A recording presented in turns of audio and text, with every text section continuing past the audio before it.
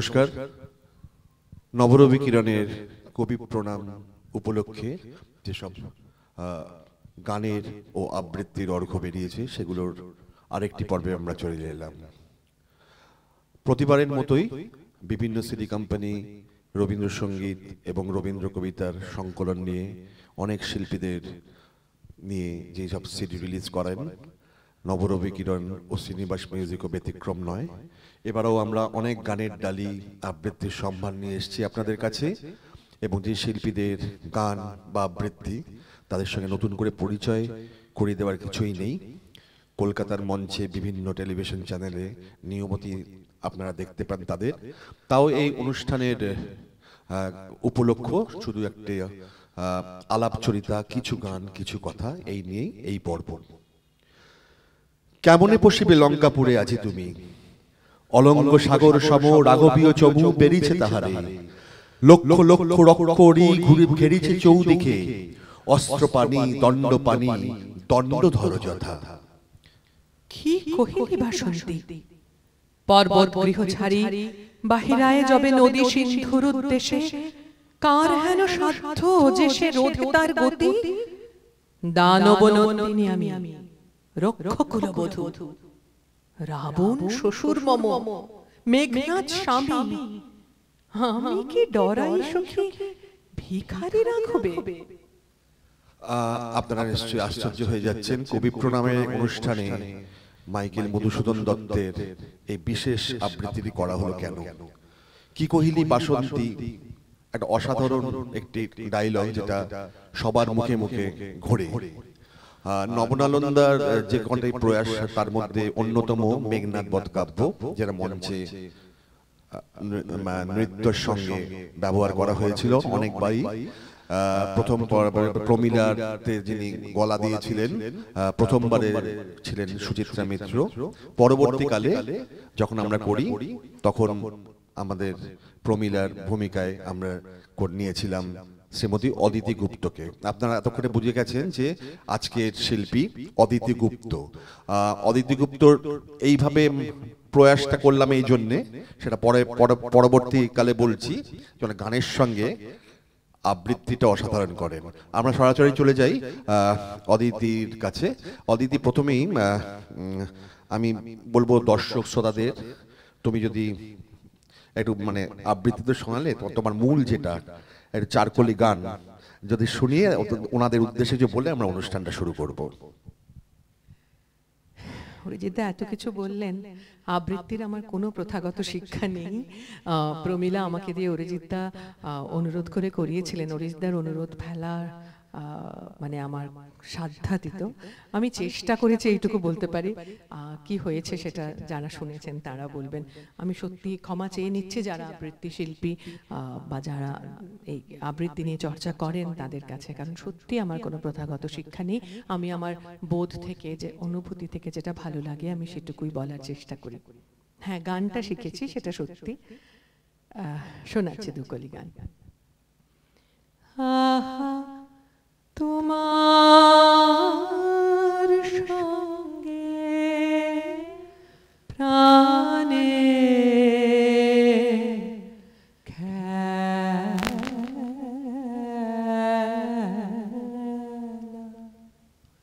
প্রিয় আমার ও প্রিয়।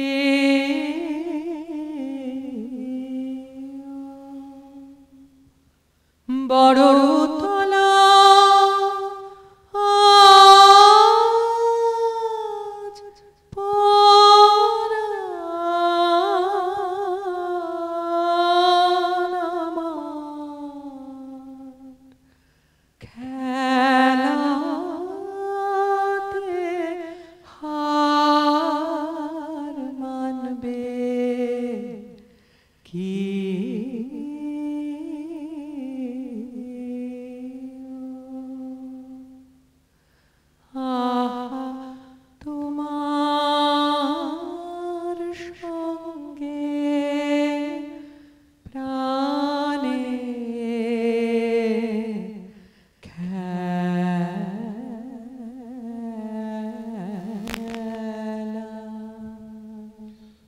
সুন্দর, আরও শুনব। অদিতি কয়েকটা জিনিস জিজ্ঞাসা ছিল। তোমার সংগীত শিক্ষা কীভাবে শুরু, যদি একটু আমাদের বলো মানে? সংগীত শিক্ষা শুরু আমার একেবারে ছোটবেলায় উচ্চাঙ্গ সংগীত দিয়ে। আমার, আমাকে যিনি শেখাতেন, আমি তখন মানে কিছু বছর শেখার পরে তিনি পৃথিবী ছেড়ে চলে যান। তারপরে অবশ্য আমার প্রথাগতভাবে উচ্চাঙ্গ সংগীত আর শেখা হয়নি। তারপর থেকেই দক্ষিণীতে দক্ষিণী পাশ করার পরে আমি এগারো বছর শ্রী রণগুহ ঠাকুরদার কাছে সংগীত শিক্ষা করেছি। মায়াদির কাছে কিছুদিন শিখেছি। আমি প্রমিতাদির কাছেও শিখেছি। তাছাড়া তো বহু শিল্পী আছেন যাদের শুনে শুনে আমি শিখেছি। তাদের নাম করে শেষ করতে পারব না, কিন্তু সেই শিক্ষাটা অনেক বড় শিক্ষা। সেটা মানে মানে আমি যদি অস্বীকার করি তাহলে সেটা খুব অন্যায় হবে। তুমি যে বলে দক্ষিণীতে শিখেছো, দক্ষিণী তো একজন একটা লিডিং ইনস্টিটিউশন অনেক দিন ধরেই রবীন্দ্রসঙ্গীতের ব্যাপারে। তো তুমি উচ্চাঙ্গ সংগীত শেখার পর যে রবীন্দ্রসঙ্গীত শিখেছো, তাহলে পরবর্তীকালে আর এইটা নিয়ে আর চর্চা করনি তারপরে আর?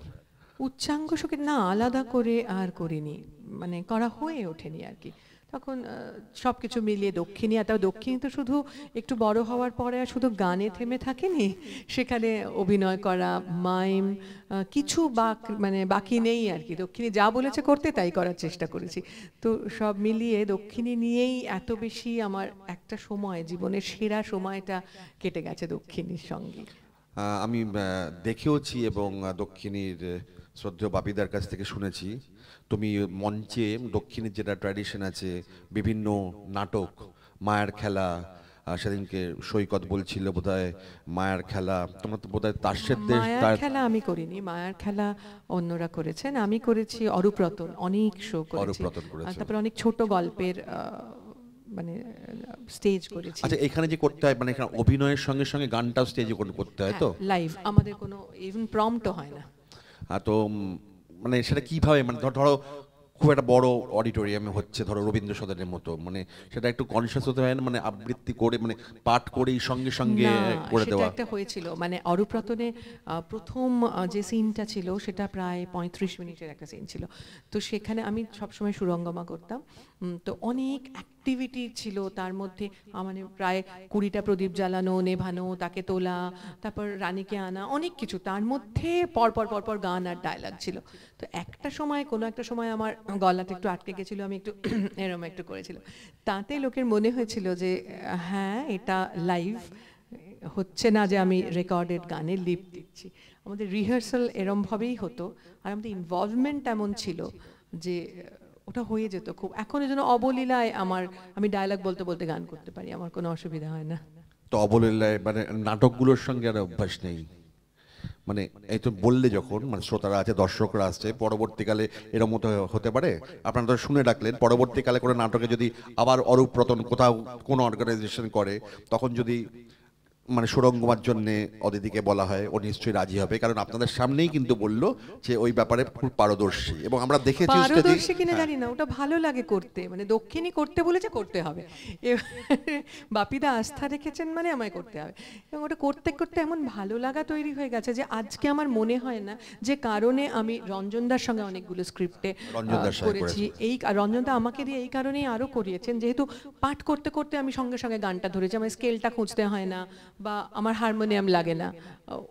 ওই সেই কতগুলো সুবিধা, ওটা অভ্যেস হয়ে গেছে। আচ্ছা দক্ষিণী যখন মানে যখন ছাত্রী ছিলে মানে যখন দু এক বছর হয়ে গেছে, তোমরা তো দক্ষিণীর একটা ট্র্যাডিশন মতো কি করো তো?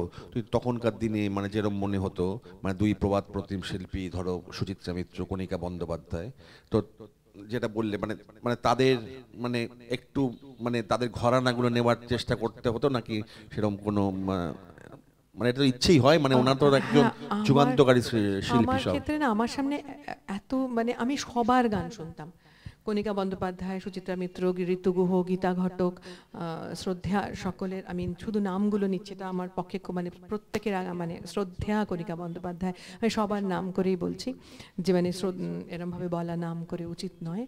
কিন্তু বাকি আরও যারা ছিলেন আমার সকলের গান যাদের গান ভালো লাগতো আমি একই গান চেষ্টা করতাম সবার শুনতে। কারোর এই জায়গাটা ভালো লাগতো কারোর ওই জায়গাটা ভালো লাগতো নিশ্চয়ই নিজের মধ্যে সেটা নেওয়ার চেষ্টা করেছি। আরও তো ছিলেন মানে আমাদের দক্ষিণের সঙ্গে কানেক্টেড শ্রীমতী ঋতু- একেবারে। ঋতুদির কাছে আমি এতই স্নেহ পেয়েছি ঋতুদি শেষের দিকে বহু অনুষ্ঠানে নিজে যেতেন না আমাকে পাঠিয়ে দিতেন। হ্যাঁ তো সেটা তো গেল গানের সঙ্গে। তো গানের সঙ্গে সঙ্গে রবীন্দ্রসঙ্গীতে যেটা হয়, সেটা নিশ্চয়ই তোমরা দক্ষিণীতে ডেফিনেটলি পেয়েছ। আজকালকার যেরকম হয়, আমি মানে কয়েকটা অনুষ্ঠানে কিছু শিল্পীকে দেখেছি যে রেকর্ডিং করতে গিয়ে রেকর্ডিং করতে গিয়ে বললাম যে তোমাকে রেকর্ডিং এসে এই গানটা গাইতে হবে।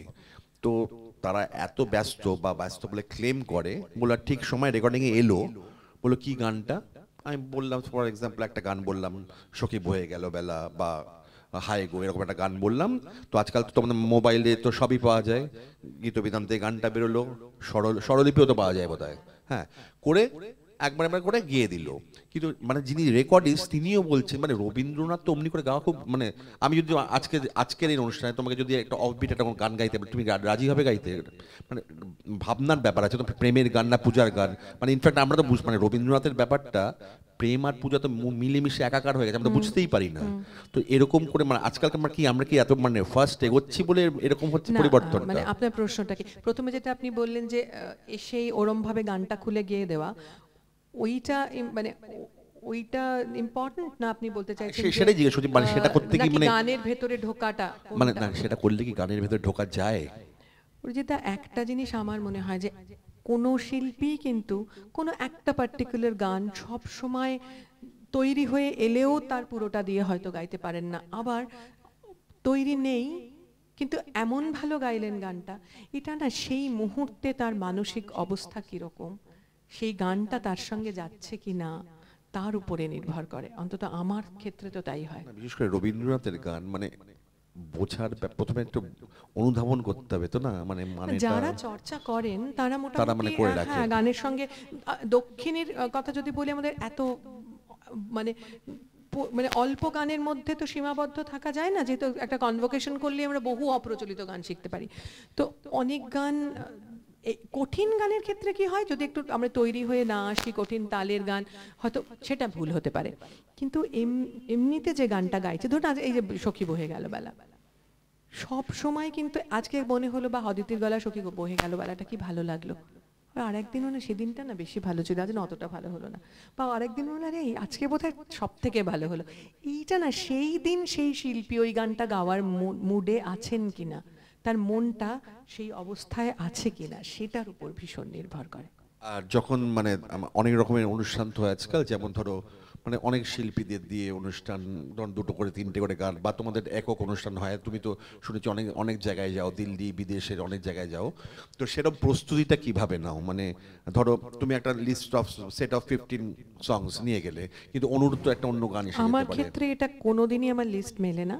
তার কারণ আমি শেষ মুহূর্তেও গান চেঞ্জ করতে থাকি। সেই ওই যে বললাম তখন মন কি চাইছে তার উপরে। তারপর সবচেয়ে বড় কথা যখন গাই আমরা একক অনুষ্ঠান করি সেটা দেশেই করি বা বিদেশেই করি সবচেয়ে বড় কথা হচ্ছে দর্শক শ্রোতারা কি চাইছেন, সেটাকে কিন্তু বুঝতে হয়, তাদের পালসটাকে বুঝে নিতে হয় যে কি ধরনের গান চাইছেন। এমনও হয়েছে, আমি একটা গোটা সন্ধ্যায় তিনটে তালের গান গাইতে পেরেছি, তবলা শিল্পী বসেছেন, বসেই থেকেছেন, আমি বাকি সারা সন্ধে টপ্পা গিয়েছে মানে লন্ডন শহরে হয়েছে। এটা আমার সঙ্গে হয়েছে মানে তুমি তো লন্ডন অনেক জায়গায় তো গেছো প্যারিস ট্যারিস অনেক জায়গায় প্রোগ্রাম করেছ।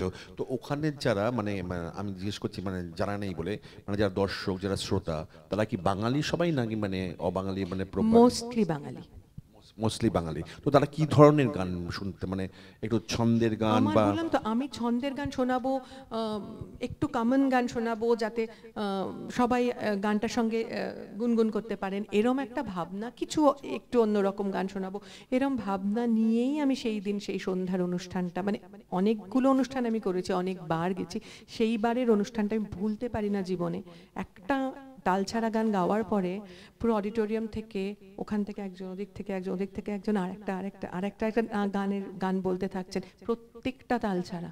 মানে এটা তো মানে চরম মানে প্রাপ্তি আর সব টপ্পা সব টপ্পা। বলছে এটা আমাদেরকেও শোনায় না। আর এই গানগুলো মানে বলছি আপনি গাইছেন মানে কেউ বলেন এতগুলো গান এরম অন্য গান গাই বা নিজের আমার লিস্টের গান গাই।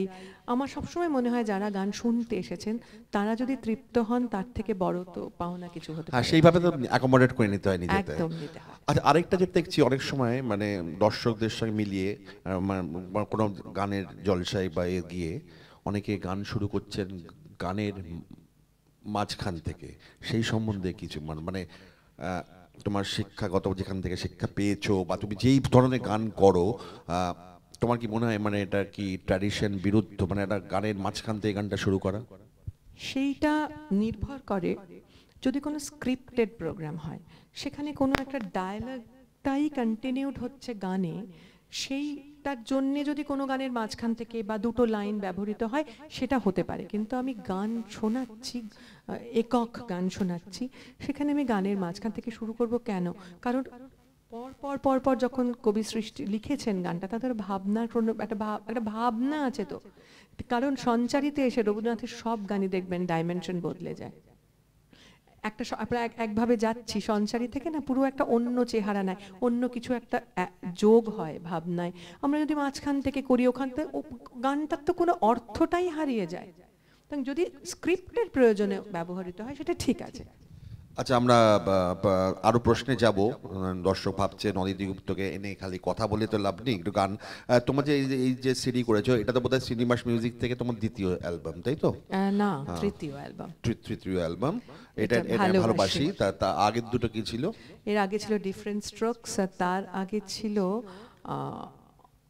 আধার এলো বলে। আচ্ছা ভালোবাসি মানে মোটামুটি নামটা থেকে মনে হচ্ছে প্রেমের গান নিয়েছো সব। প্রেম কিন্তু ওই প্রেমে আমার সবই বিরহ। মানে আমার কাছে বিরহেই রহে কারুর ধার করা কথাই শোনালাম সেই জন্য বিরহ তো বটেই। মানে তুমি প্রেমের আলটিমেট তাহলে বিরহ মনে করো। হ্যাঁ বিরহেই রহে। আচ্ছা। মিলনে রহে তো এখানে করেছ ভালোবাসি ভালোবাসি বারোটা পেয়েছি মনে মনে। আমার দোসর যেজন নীল নীলাঞ্জন ছায়া। এমন দিনে তাহলে বলা যায় ডাকবো না ডাকবো না যাবার বেলা শেষ কথাটা যাও বলে। তো এখানে আমাদের তো এখানে তো আমাদের মিউজিশিয়ানসও নেই কিন্তু ট্র্যাকগুলো আছে। কবিতা আছে। হ্যাঁ কবিতা আছে কবিতার প্রসঙ্গে তো আসছি। মানে তুমি বললে যদিও আমার অনুরোধে তুমি কবিতা করেছ কিন্তু এই এই এইখানে তো এটাও কিন্তু আপনার অনুরোধই ছিল। বলছেন একটু কবিতাও বলো। সব সব ট্রেড সিক্রেটগুলো বলে দিলে তোমার পরবর্তীকালে মুশকিল হয়ে যাবে। তো যাই হোক এখানে আমাদের ট্র্যাকগুলো আছে তুমি যদি একটা গান সিলেক্ট করে নাও আমি বল- বলব ট্র্যাকটা বাজাতে সেই ট্র্যাকে যদি তুমি গানটা গাও। কোন গানটা গাইবে একটু বলো তাহলে? দোসর যে জনগতারে আমার খুব আচ্ছা আমরা এখন অদিতি গুপ্তর নতুন অ্যালবাম শ্রীনিবাস মিউজিক ও নবরবিকিরণ থেকে যেটা বেরিয়েছে ভালোবাসি। তার থেকে একটা গান শুনছি। এখানে সংগীত আয়োজনে আছেন সুব্রত মুখোপাধ্যায়। আমরা শুনি আগে গানটা।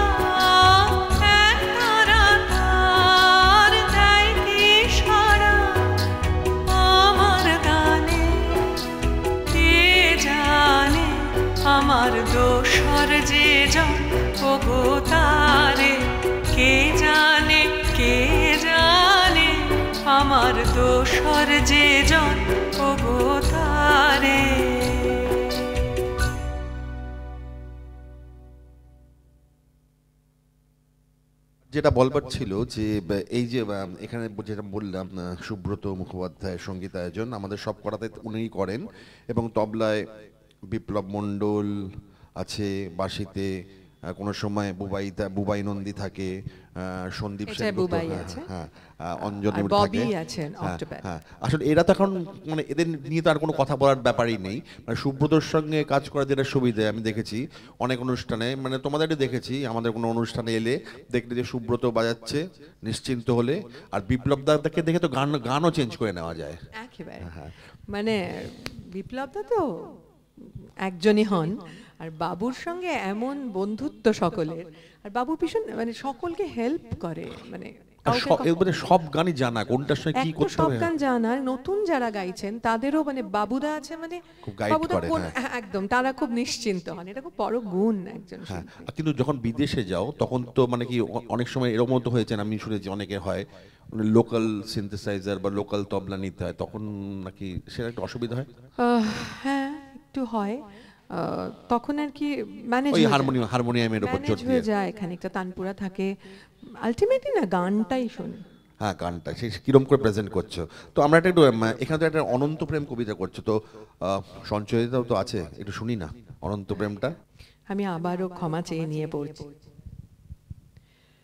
তোমারেই যেন ভালোবাসি আছি শতরূপে শতবার। জনমে জনমে যুগে যুগে অনিবার। চিরকাল ধরে মুগ্ধ হৃদয়ে গাঁথি আছে গীতহার। কত রূপ ধরে পড়েছ গলায় নিয়েছ সে উপহার। জনমে জনমে যুগে যুগে অনিবার। যত শুনি সেই অতীত কাহিনী প্রাচীন প্রেমের ব্যথা অতি পুরাতন বিরহ মিলন কথা। অসীম অতীতে চাহিতে চাহিতে দেখা দেয় অবশেষে। কালের তিমির রজনী ভেদিয়া তোমারই মূরতি এসে। চির স্মৃতিময়ী ধ্রুব তারকার বেশে। আমরা দুজনে ভাসিয়া এসেছি যুগল প্রেমের স্রোতে। অনাদিকালের হৃদয়ে উৎস হতে। আমরা দুজনে করিয়াছি খেলা কোটি প্রেমিকের মাঝে। বিরহ বিধুর নয়ন সলিলে মিলন মধুর লাজে। পুরাতন প্রেম। নিত্য নূতন সাজে। আজি সেই চিরদিবসের প্রেম। অবসান লোভিয়াছে রাশি রাশি হয়ে তোমার পায়ের কাছে। নিখিলের সুখ নিখিলের দুঃখ নিখিল প্রাণের প্রীতি একটি প্রেমের মাঝারে মিশেছে সকল প্রেমের স্মৃতি। সকল কালের সকল কবির গীতি। অদিতি একটু আগে বলল যে আমার অনুরোধ এড়াতে পারে না বলে কবিতা করে। কিন্তু আপনাদের কবিতা শুনে কি মনে হলো যে অনুরোধ থেকে ভুল? এবং প্রসঙ্গত উল্লেখ্য ও যেটা বলল, এতে একটু হয়তো আমার অবদান ছিল, কিন্তু এখানে মেঘনাথ বধ কাব্যে যিনি সূত্রধার করেছিলেন, নবনানন্দের আরেকজন, সবার সবাই জানেন ওনার নাম। আমাকে কিন্তু অদিতির নামটা ফার্স্টে সাজেস্ট করেছিল। ব্রততী বন্দ্যোপাধ্যায়। সত্যি? হ্যাঁ একদম সত্যি এত এতদিন বলিনি এখন বললাম কিন্তু ব্রতদীর আবৃত্তির পর আর তো কোনো কথা হয় না। ও যখন সাজেস্ট করেছে নিশ্চয়ই বুঝেই কিছু সাজেস্ট করেছে। তো যাই হোক এবার একটু আহ, ব্রততী। তোমাকে তো কোনো কোনোভাবে একটু মানে অফ দ্য ট্র্যাক পাওয়া যায় মানে ফেলা যায় না। মানে সব কোয়েশ্চেনে তুমি একদম মানে যাই না একদম উত্তর দিতে পারো। তো আমার যদি মনে হয় একটু অফ দ্য ট্র্যাক একটা অন্য একটা গান এখন শুনতে ইচ্ছে যদিও খুব গ্রীষ্মের দাবো দাবো আমার দুকলি যদি কৃষ্ণকলি মানে শুনে খুব ভালো গাও তুমি গানটা। দু দু- লাইন যদি একটু গিয়ে শোনাও আমাদের। কৃষ্ণ কোলে আমি তারে বলি কৃষ্ণ কোলে আমি তারে বলি। কালো তারে বলে গায়ে লোক। মেঘলা দিনে দেখেছিলেম মাঠে। কালো মেঘ, কালো হরিণ চোখ। ঘোমটা মাথায় ছিল না তার মোটে। মুক্ত বেনি পিঠের পরে লোটে কালো। তা সে যতই কালো দেখেছি কালো চোখ। কৃষ্ণ কোলে আমি তারে বাহ। আচ্ছা তোমার তো এখানে বললে তৃতীয় অ্যালবাম তার আগে তো সারেগামা থেকেও বোধহয় বেরিয়েছে অনেকগুলো। সারেগামা থেকে আমার ছটা অ্যালবাম আছে আর তাছাড়া ওদের আর্কাইভে আমার চল্লিশটা এমন গান রেকর্ড করা আছে যেটা সারেগামাতে আর কারুর করা নেই। আচ্ছা আচ্ছা। সেইটা আমার কাছে খুব বড় প্রাপ্তি। তোমার ছটা এখানে তিনটে নটা আর অন্য কোম্পানি আর কোথাও? আছে। তাহলে ঠিক আছে, তো অনেক অনেক অনেকগুলি সিডি আছে। হ্যাঁ এই সিডি সম্বন্ধে প্রশ্ন করলাম এই জন্যে, এখন একটা প্রচলিত মত সিডি হয়তো উঠে যাবে। কিন্তু, আর সবাইকেই একই প্রশ্ন করছি নতুন কি সব আসছে সিঙ্গলস যেগুলো দেখা যাচ্ছে। আমার নিজের মত জানি না একটু ট্র্যাডিশনাল মতবাদ কিনা, যে তুমি একটা গান গাইছো, সেখানে তো আমার মেন তো শোনা রবীন্দ্রনাথের গান অনেক সময়। ধরো এই গানটা গাইলে তুমি, বা প্রথম যে গানটা দিয়ে শুরু করলে, এটা আমার মনে হয় তো যে আমি বাড়ির ঘরে বসে অন্ধকার করে চোখ বুঝে শুনি, সেটাও নিয়ে পারে। কিন্তু অনেক সময় হয় হচ্ছে আজকাল যেগুলো হচ্ছে, গান ব্যাকগ্রাউন্ডে একজন গিয়ে যাচ্ছেন, তার সঙ্গে মাঠে মানে মানে আমার তো মনে হয় মানে আমি জানি না সেটা হয়তো এই যুগে সেটা চলে। খুব একটা কি ভালো লাগে? এখানে গানের মানেটা হারিয়ে যায় না মানে? সিঙ্গলসটা আসলে এখন মানুষের সময় এত কম। সবাই একটার বেশি ওই একটা শুনে একজন শিল্পীকে বা ঠিক মতন তার পিকচারাইজেশন হলো সবকিছু নিয়ে একটা প্যাকেজ কিন্তু যদি কোনো শিল্পীকে সত্যি শুনতে হয় তাকে বুঝতে চান যারা সিনসিয়ারলি গান শোনেন তাদের কিন্তু সিডি শোনা ছাড়া কোনো গতি নেই। কেননা একজন শিল্পী কত রকম নানা ধরনের গান একটা অ্যালবামে থাকে আটটা থেকে দশটা গান থাকে। তো একজন শিল্পীকে বোঝার জন্যে তাকে জানতে চাইলে সিডির কোনো বিকল্পই হয় না। আগেকার দিনে যেমন হতো যখন কবি পক্ষের সময় এই ধরো মেলোডি সিম্ফনি সামনে আমরা সব ভিড় করতাম কার কার সিডি বেরিয়েছে? হ্যাঁ, এখন তো সিডি বেরোচ্ছে অনেকে শুনছেন অনেকে নিচ্ছেন না। আসলে আরেকটা ব্যাপার হচ্ছে এত তোমাদের না তোমার কিন্তু মিডিয়া তো এত এক্সপোর্ট আমার আমি সকালবেলা উঠে এই একটা অনুষ্ঠানে অদিতি গুপ্তর গান শুনলাম। এবার পরবর্তীকালে আমাকে যদি বলে সন্ধ্যাবেলায় অদিতি গুপ্তর একটা গান প্রোগ্রাম আছে ওখানে তাই না? সারা আমি তো সকালে শুনলাম শুনলাম এবং আরও ভালো অ্যাকোয়াস্টিক্স দিয়ে শুনলাম। এবং সারাদিন কাজ করার পরে মানে লোকের সময়টাও তো কমে গেছে অনেক। এই কথাটা নরেজিতে আমি বলি, আগেও কিন্তু আমরা একই শিল্পীকে বারবার সারা জীবন ধরে আজও শুনে আসছি, তারা নেই, তারা পৃথিবী ছেড়ে চলে গেছে। আমি কোন লেজেন্ডের সঙ্গে এখন কারুর, নিজের তো প্রশ্নই নেই, আমি কারুরই তুলনা করছি না, কারণ তারা অমর হয়ে গেছে, হয়েছেন তাদের কীর্তির জন্য, তাদের কাজের জন্য। কিন্তু তখন না মানুষের কাছে অপশন অনেক কম ছিল। এখন কত কিছু আপনি কি চান? আমার মনে আছে আজ থেকে বোধ হয় কুড়ি পঁচিশ বছর আগেকার কথা। অনেক মানে বয়স্ক লোকও আমার বাবাও রবীন্দ্রসঙ্গীতের যে পঁচিশে বৈশাখের দিন সকালবেলা একটার সময় হেমন্তবাবু এসে প্রাঙ্গণে মসজিদ শেখা সেটা শোনার জন্য কিন্তু বসে থাকতো লোক। এখন কিন্তু আমি জানি না মানে এত মানে অ্যাকশন হয়েছে। তো ইউটিউব খুলে আমি হেমন্ত মুখোপাধ্যায়ের এই যে গানটা চাইব সেটা শুনে নেব। ওই হয়ে গেছে না মানুষের কাছে সবটা অ্যাভেলেবল পাম টপে এখন সব একটা হাতের মুঠোয় সব। আর তোমাদের তো দেখেছি ধরো রবীন্দ্র জয়ন্তীর সকালবেলা আটটা থেকে দশটা পর্যন্ত প্রোগ্রাম থাকে। করে দিয়েছি। মানে সবারই অনেক পক্ষে তাই হচ্ছে মানে এই গরমের মধ্যে মানে হ্যাঁ, সবাই উৎসাহ নিয়ে করেন সবই ঠিকই কিন্তু মানে এতগুলো যাওয়া এই গরমের মধ্যে বেড়ে গেছে অনেক এবং সে অনুষ্ঠানও কমে আসছে সবই খুব হচ্ছে। ভালো লাগতো। মানে শুনতে আমি আমার এখন এখন মনে হয় আমি যদি কোথাও একটা বসে সারা দিন ধরে শুনতে পারতাম খুব ভালো লাগতো। আহ, যাই হোক তো এখন- এখন নবরবি কিরণ বলুন নবনানন্দ বলুন সব অনুষ্ঠানেই অদিতি গুপ্তকে দেখা যায়। কোনো কোনো কোনো সময় আবৃত্তি কোনো কোনো সময় গান এবং আপনারা হয়তো জানেন আমরা আমাদের শান্তিনিকেতনে যে ব্রাঞ্চটি আছে সেখানেও বর্ষা উৎসব বসন্ত উৎসব যখনই বলি যখনই ও সুযোগ পায় অতিথি যায় এবং সেখানে একটা জিনিস আমরা যে সবাই মিলে যাই বাবু যায় সবাই যায় ওটা কিন্তু নট মানে মোর অফ মানে এনজয়মেন্ট আনন্দ আনন্দের জন্য যাওয়া ফ্যামিলি পিকনিকের মতো ফ্যামিলি পিকনিকের মতো হয় সেখানে মানে এরকম হয়েছে ফাংশনের দিন সকালবেলা এসে গানটা বলা হয়েছে। কিন্তু মজা আনন্দ। এটা এটা এটা আমি একটু বলব এটা হচ্ছে টিপিক্যাল অরিজিৎদার মানে কি বলব স্বভাব যে আহ, এ শোনো একটা কথা। কি করছ? কিছু আজ বিকেলে কিছু করছ? আচ্ছা এই গানটা গিয়ে দিয়ে যাও।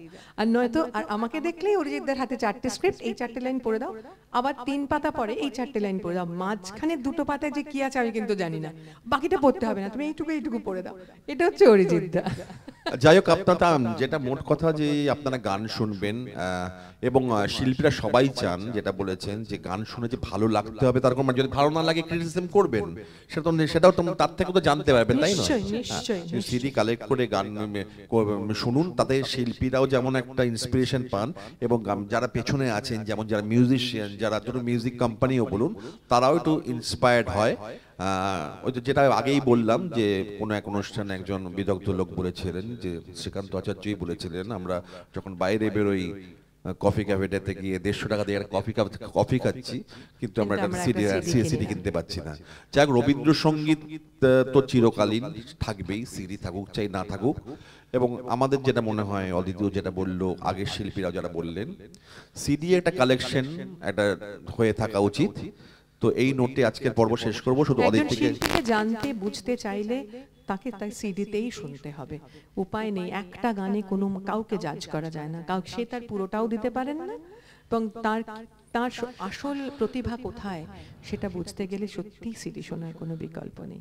যাই হোক এই এই সুন্দর সুন্দর অনুষ্ঠানের শেষ করব নিশ্চয়ই অদিতির চারটে লাইন দিয়ে আজকের মতো এই অনুষ্ঠান শেষ করব। অদিতির গান দিয়ে পরবর্তী পর্বে আপনারা থাকবেন সঙ্গে থাকবেন দেখতে থাকবেন। এবং আমি অদিতিকে এবার বলছি চারটে লাইন দিয়ে আজকের অনুষ্ঠান শেষ করতে। আনন্দ ধারা বহিছে ভুবনে আনন্দ ধারা বহিছে ভুবনে দিন রজনী